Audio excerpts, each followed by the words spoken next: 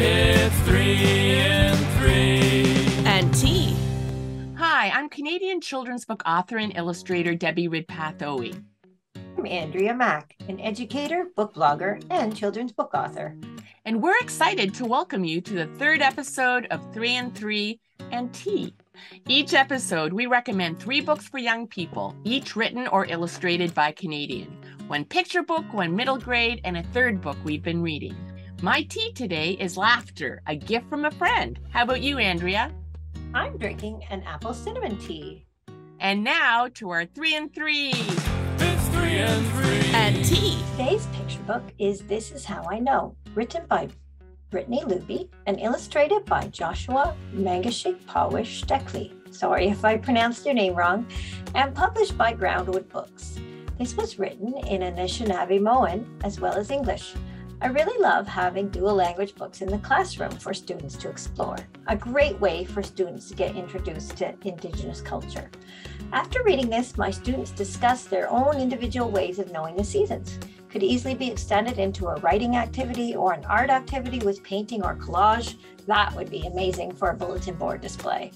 There are many creatures and plants mentioned in this story which could be investigated further in a class inquiry. Or go on a nature walk with your class and talk about how they are knowing the seasons right at that moment. I really, really liked this book, and so did my students.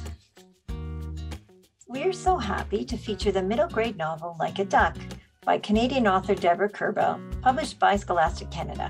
I don't know about you, but I love books with interesting animals, like the duck in this story. Webster is a comfort animal that helps the main character Sarah when she feels stressed. Talking about what to do when you feel stressed is a really great topic for class discussion.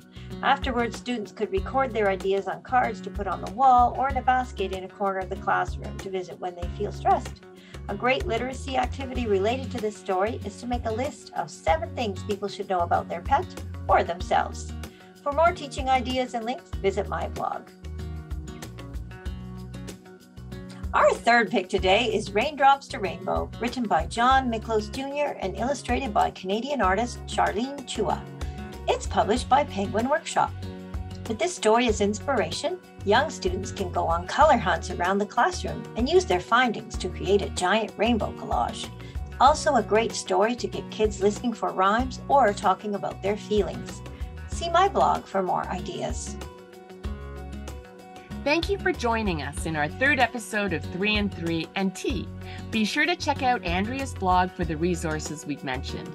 If you enjoyed this episode, we'd really appreciate it if you could spread the word about the books we've talked about, as well as 3 and 3.